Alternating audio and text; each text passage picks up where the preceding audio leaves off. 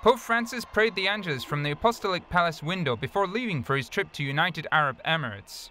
This week in St. Peter's Square, the children of Rome's Catholic Action came with their peace caravan. They are celebrating their 50th anniversary.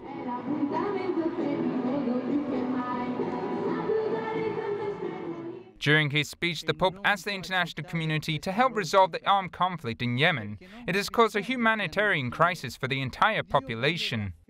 Preghiamo forte perché sono dei bambini che hanno fame, che hanno sete, che non hanno medicine e sono in pericolo di morte. Portiamo con noi questo pensiero a casa. Afterward, Pope Francis passed the microphone to these two children from Catholic Action. They wanted to promote the need for peace in the world.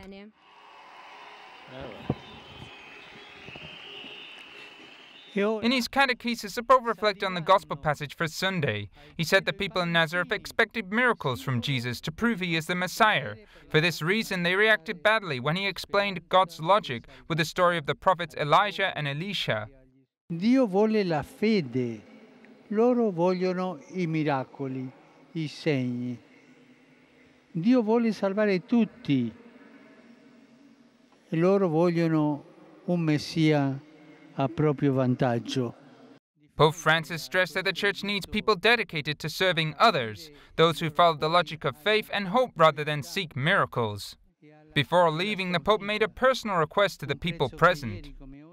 Tra meno di un'ora partirò per un viaggio breve ma importante negli Emirati Arabi Uniti. Per favore accompagnatemi con la preghiera. Buona domenica a tutti.